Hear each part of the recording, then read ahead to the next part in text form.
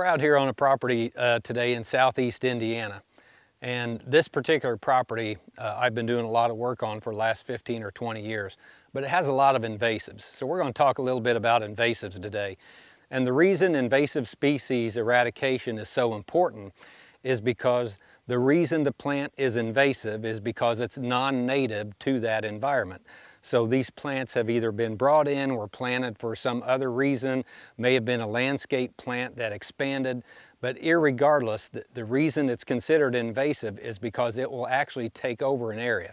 So when you have a forest stand that has a lot of invasives in it, and they're usually in the understory, once you have a disturbance in that forest stand, for example, you have a harvest or you have mortality or you have some wind damage where you create sunlight into the forest opening, uh, what will happen is those invasive species will outcompete uh, the native vegetation and that will outcompete the natural regeneration that we want in those openings. So the eradication of these invasive species is very important, especially prior to any type of a forest disturbance such as a timber harvest. Now I want to talk a little bit about the, the different invasive species that we have. Um, this plant right here is called uh, Asian bush honeysuckle. The leaf resembles the Japanese honeysuckle that vines that we find that smells real pretty in the spring. But this is a shrub and it loves sunlight and it will grow extremely fast. And you'll notice on these twigs that those leaves are opposite each other. And that's one indicator of that plant. And the bark on this plant is also very similar to a hedge, but it's lighter in tan color. A hedge apple or, or a hedge will actually have an orange tint to the bark, where the Asian bush honeysuckle is more tan. Now another one of the main invasive species that we have that are considered shrubby species is autumn olive. Now this isn't Russian olive, this is autumn olive. And, and the leaves on this are more opposite. They look more like a staggered stair step. Now the, the, a real indicator of this plant is it's green on top and then the underside has that silvery gloss to it. So when the wind is blowing, you can look across the field and you can really see this plant because it will show that silver color. The other good indicator on this too is a lot of the younger sprouts or the younger shoots that come off the plant have that orangish dark tan tint to them. And you can really see those well in the woods. Now another one uh, that we try to eradicate is called privet. Now this plant is really identified by um, these small leaflets. So uh, this, this shrub has a lot of these small leaves. And you'll also find in the fall or winter time, it'll have black, small black berries on it. This plant is really hard to kill. So your herbicide applications on those uh, are, are really critical on how those are treated um, that's just a really difficult plant to kill. Now th those are the invasives. This, this is a native plant that some people mistake for an invasive and it's called spice bush. Now you'll notice that the leaves on this stem, they're opposite, but that leaf is, looks more like an ash leaf. Um, and they have a dark tan stem.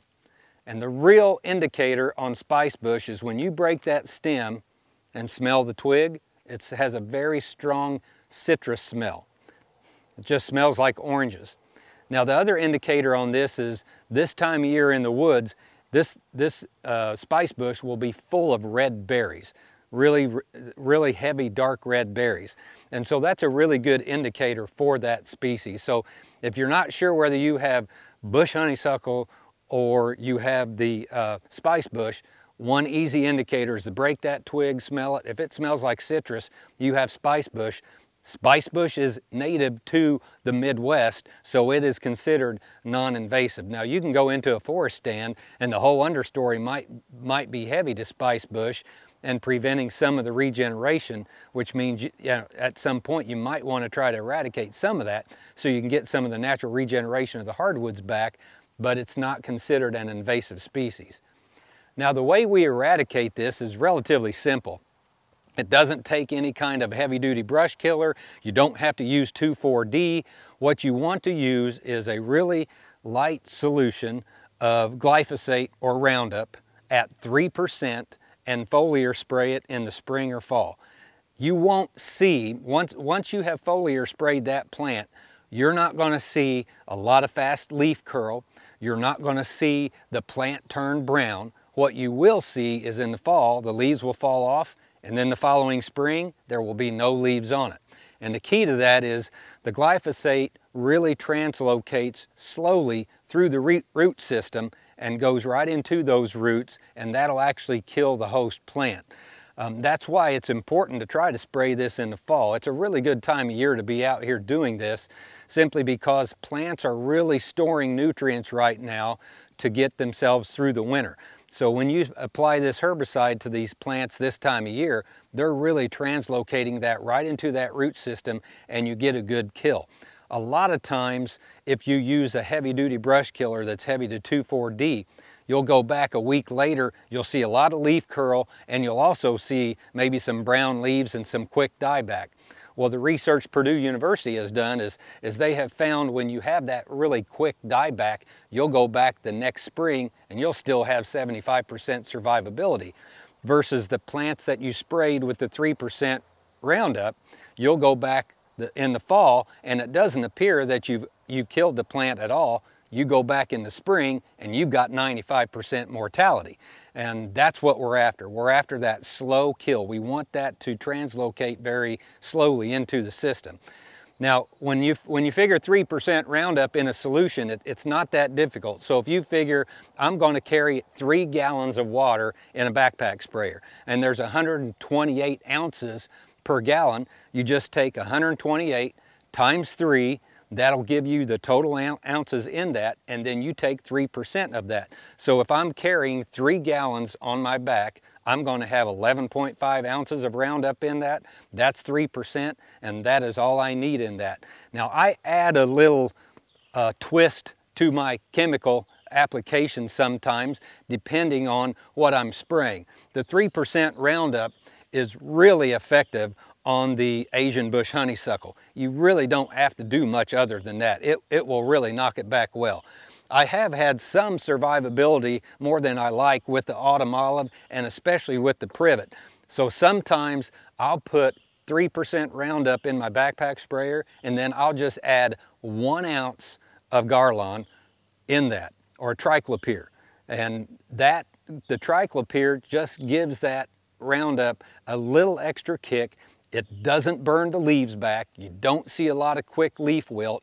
The other thing the Garlon is good for because it's very oily in nature, it will actually translocate through the bark. And so the privet is very stemmy. And most of the times you don't see a large host plant, you see a clump of a lot of small plants. So when you spray that, and that, that Garlon and the Roundup attaches to the leaves, the Garlon is also attaching to those stems. And so that herbicide will actually carry into the plant from those stems. So you, you give that invasive species just a little bit of an extra kick. Uh, and, and that's really important when you're, when you're working with this. Now the other thing, sometimes depending on uh, where you get your water source, if you have harder water, sometimes that the hardness in that water does not allow the herbicide to uh, make contact with the water molecules in the solution. So sometimes we have to add a little bit of water-soluble ammonia sulfate in with the water. And I'm not a chemist. I don't know exactly how that, uh, how that chemical reaction takes place, but that water-soluble ammonia sulfate helps break down or helps neutralize the water so the herbicide can stay in contact with the water molecules so when it goes onto the plant, it stays on the plant and you don't have uh, a, a separation of the herbicide with the water and you get a better translocation into the plant so you can actually get a better kill.